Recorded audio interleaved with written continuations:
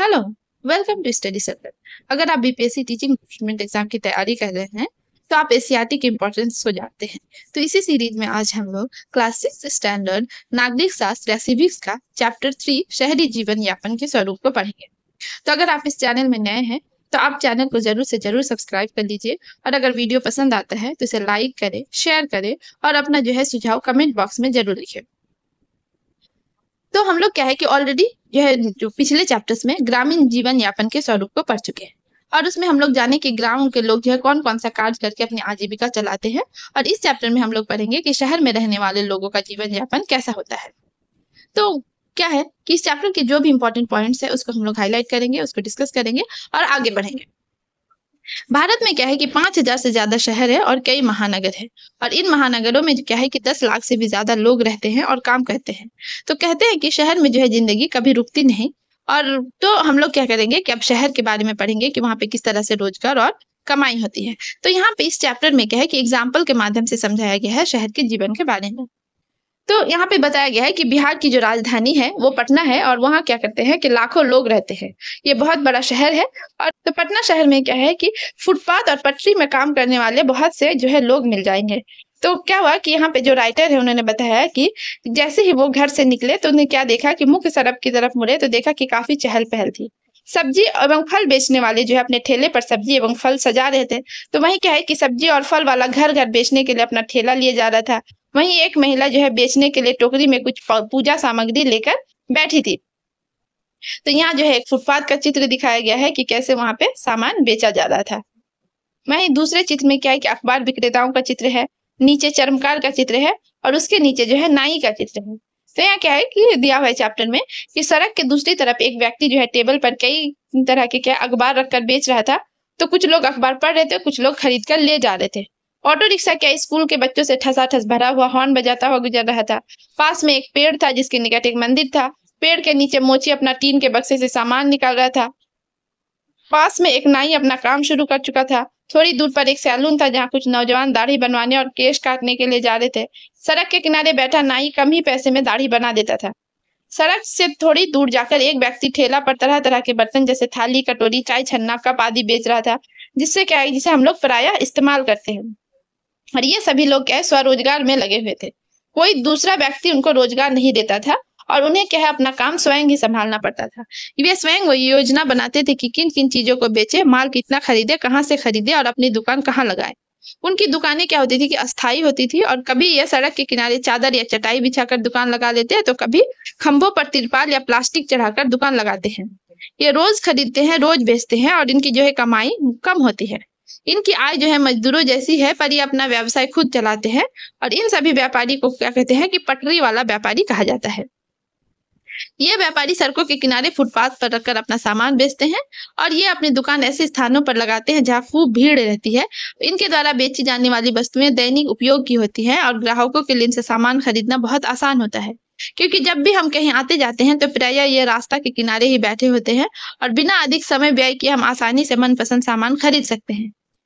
तो क्या होता है कि पटरी वाला व्यापारी अगर पूछा जाएगा तो क्या होगा इसका आंसर कि ये व्यापारी जो है सड़क के किनारे फुटपाथ पर रखकर अपना सामान बेचते हैं और इनका जो आय होता है वो बहुत कम होता है। ठेले वाले जो चीज़ें बेचते हैं वो अक्सर घर पर उनके परिवार वाले बनाते हैं। जैसे एग्ज़ाम्पल के लिए कि सड़क पर गुपचुप, समोसा, चाट, भुंजा आदि तो ये ज़्यादातर क्या है, घर पर ही तैयार किया जाता है। इन व्यापारियों के पास कोई सुरक्षा नहीं होता है। पुलिस या नगर निगम वाले जो है इन्हें तंग भी करते रहते हैं और अक्सर उन्हें जो है दुकान हटाने के लिए कहा जाता है। हमारे देश के शहरी इलाकों में, में लगभग क्या है कि एक करोड़ लोग फुटपाथ और ठेलों पर सामान बेचते हैं। बहुत सी जगहों पर इस काम को यातायात और पैदल चलने वाले लोगों के लिए क्या है कि एक रुकावट की तरह देखा जाता है। लेकिन कुछ संस्थाओं के प्रयास से अब इसको सभी के लिए उपयोगी और आजीविका कमाने के अधिकार के रूप में देखा जा रहा है। कानून में बदलाव आने से उनके पास काम करने की जगह होगी। यातायात एवं लोगों का आवागमन भी क्या है कि सहज रूप से हो पाएगा।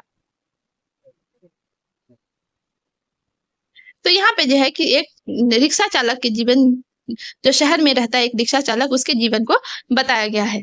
तो क्या है कि गाँव से काफ़ी लोग, उनका नाम क्या है? श्याम नारायण है और उनके जीवन के एग्ज़ाम्पल से समझाया गया है। तो इस चित्र में हम देख सकते हैं कि एक रिक्शा चालक का चित्र है। तो क्या है कि गाँव से काफ़ी लोग काम की तलाश में शहर आते हैं। उसी में श्याम नारायण भी क्या है कि एक, श्याम नारायण भी एक है। वो भभुआ ज़िले के कृषक मजदूर है। उसके पास ज़मीन नहीं है। गाँव में साल भर खेती में मजदूरों की आवश्यकता नहीं होती है। ये फ़सल जो है कटाई, बुआई के समय गाँव में काम करते हैं और इस काम से जो कमाई होती है, उससे परिवार का खर्च नहीं चल पाता। इसीलिए जब खेतों में काम नहीं मिलता तो ये शहर आकर रिक्शा चलाते हैं और ये इनका जो है प्रतिदिन का काम है, किंतु तबियत खराब होने की स्थिति में क्या होता है कि कमाई नहीं हो पाती है। और ये जो है यहाँ पे चित्र है ये रैन बसेरा का है। तो इसी रैन बसेरा में क्या कहते हैं कि ये रिक्शा वाले जो है रात गुजारते हैं और रोज डेढ़ सौ से दो सौ रुपया इनकी कमाई होती है। अगर इनका अपना रिक्शा नहीं होता तो ये रिक्शा का भाड़ा प्रतिदिन तीस से पैंतीस रुपया रिक्शा मालिक को दे देते हैं और प्रतिदिन जो है साठ सत्तर रुपया खाने एवं अन्य जरूरतों में खर्च हो जाते हैं और बाकी पैसा ये परिवार के लिए बचा लेते हैं। बीस पच्चीस दिनों में क्या है, एक बार परिवार से मिलने गाँव भी चले जाते हैं और इसी पैसे से परिवार का जीवन यापन चलता है। कभी कभी इनके घर की महिलाएँ भी जो है मजदूरी करके कुछ कमा लेती हैं। तो बाज़ार में क्या है बाज़ार में देखेंगे कि जब हम बोरिंग रोड बाज़ार पहुँचे तो दुकानें जो है खुलनी शुरू हो गई थी। लेकिन त्योहार के कारण वहाँ बहुत भीड़ हो चुकी थी। वहाँ कपड़े, चप्पल, बर्तन, बिजली के सामान, मिठाई आदि की दुकानों की लंबी कतार थी तो हम लोग एक रेडीमेड कपड़े के शोरूम में गए। वहाँ से कुछ कपड़े लेने थे तो ये क्या था कि ये तीन मंजिला शोरूम था और हर मंजिल पर अलग अलग प्रकार के कपड़े थे और बाज़ार में जो है एक दो डॉक्टर की क्लिनिक भी थी और वहाँ लोगों की भीड़ थी। तो यहाँ देख सकते हैं बहुमंजिला दुकान की, का एक चित्र दिया है। और ये जो है बड़े कपड़े की दुकान का एक चित्र है। तो बड़ी दुकान में क्या था, जो जिसमें प्रमोद और अंशु है, उनके बीच कन्वर्सेशन के माध्यम से समझाया गया है। है ना? तो प्रमोद जो है वो दुकानदार है। तो उसने कहा कि पहले मेरे पिताजी और चाचा जो है एक छोटी सी दुकान चलाते थे और रविवार और त्योहारों के अवसर पर जो है मैं अपनी माँ के साथ उनकी मदद करता था और अपनी स्नातक की पढ़ाई पूरी करने के बाद जो है मैंने भी काम करना शुरू किया और इस समय क्या है मैं अपनी पत्नी अंशु के साथ जो है ये शोरूम चलाता हूँ। तो अंशु कौन है? ये प्रमोद की पत्नी है। तो अंशु ने क्या कहा कि हमने कुछ साल पहले ये शोरूम खोला है। मैं ड्रेस डिज़ाइनर हूँ और मैं इसके साथ बुटीक भी चलाती हूँ। मैंने इसी की पढ़ाई की है। आजकल युवा वर्ग तथा बच्चे जो है आकर्षक कपड़े पहनना पसंद करते हैं और इसी को ध्यान में रखकर हमने रेडीमेड कपड़ों का जो आकर्षक रूप में सजाकर ये शोरूम खोला है। तो उन्होंने आगे बताया कि क्या है कि हम अपने शोरूम के लिए जो है माल दिल्ली, मुंबई, अहमदाबाद से मंगवाते हैं और कभी कभी कुछ कपड़े जो है वो विदेशों से भी मंगवाते हैं। शोरूम के प्रचार प्रसार के लिए हम विज्ञापन भी देते हैं, इससे हमारे व्यापार में क्या हुए बढ़ोतरी हुई और इससे हमारा जीवन स्तर ऊँचा हो गया है। हमने एक कार भी खरीदी है और एक मकान भी बनाया है जो कुछ बाज़ार से कुछ दूरी पर है। प्रमोद और अंशु जैसे बहुत सारे लोग हैं जो शहरों में अपनी दुकानें चलाते हैं और ये दुकानें छोटी, बड़ी हैं और लोग अलग अलग चीज़ें बेचते हैं। ज़्यादातर व्यापारी अपनी दुकान या व्यापार जो है वो खुद संभालते हैं। वे किसी दूसरों की नौकरी नहीं करते, बल्कि दूसरों को नौकरी पर रखते हैं, जैसे मैनेजर, सहायक, गार्ड, साफ़ सफ़ाई के लिए कर्मचारी आदि। कुछ लोग जो है दुकान किराए पर लेते हैं, इन्हें दुकान का मालिक कभी कभी दुकान खाली करने या किराया बढ़ाने के लिए कह सकता है। इनकी सुरक्षा अपनी दुकान वालों से कुछ कम होती है, लेकिन इनकी भी कमाई क्या होती है कि अच्छी होती है? ये दुकानें क्या है कि पक्की होती है और इनके पास नगर निगम के लाइसेंस होते हैं। नगर निगम के अनुसार इनकी दुकान सप्ताह में एक दिन बंद होती है और उदाहरण के लिए कुछ बाज़ार की दुकानें रविवार को, कुछ सोमवार को तो कुछ मंगलवार को बंद रहती है।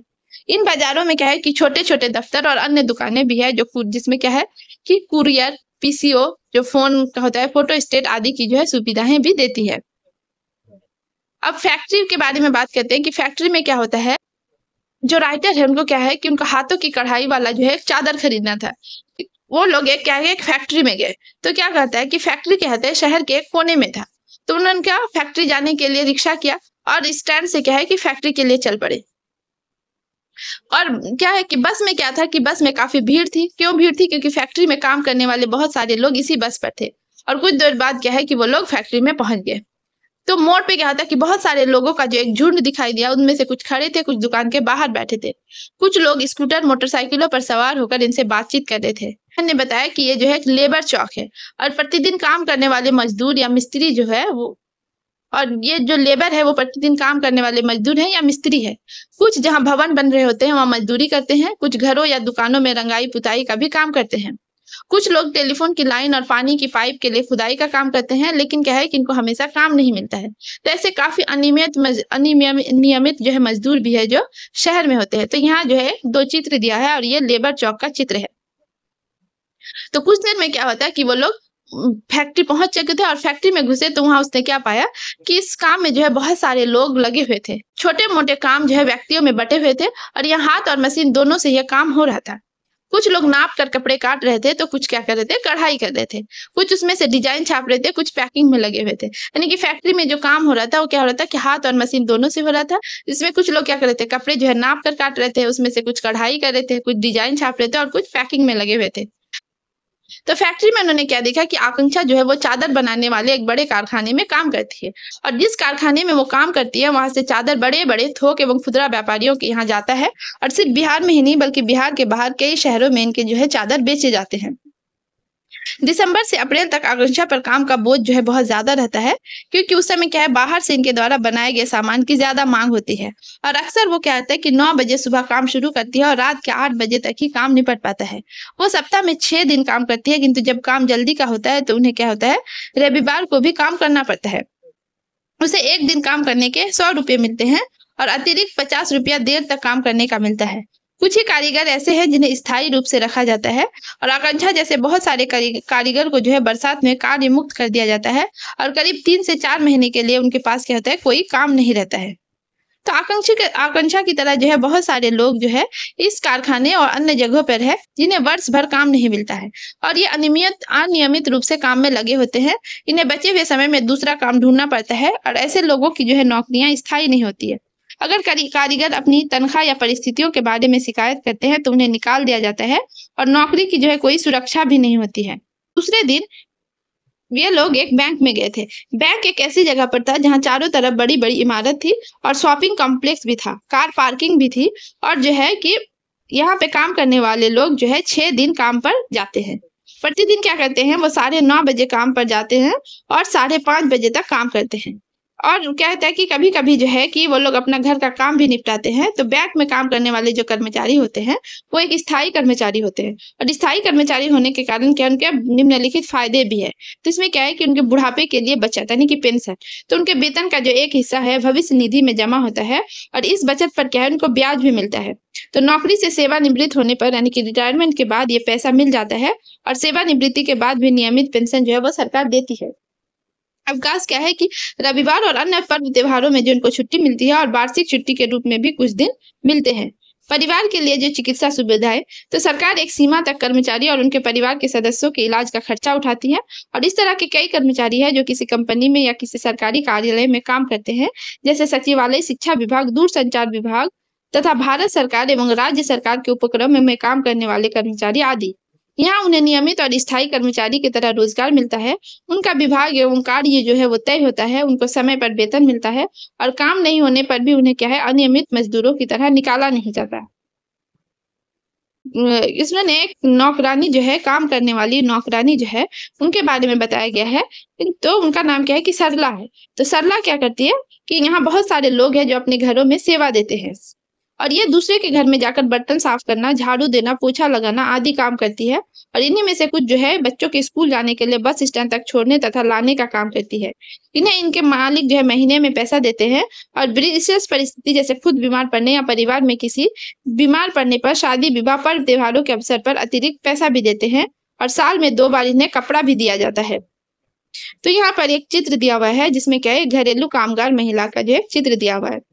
तो इसी तरह ये चैप्टर जो यहाँ पे एंड हो रहा है, यहाँ पे हम लोग शहरी जीवन यापन के स्वरूप को समझा कि उनका जीवन किस तरह से है।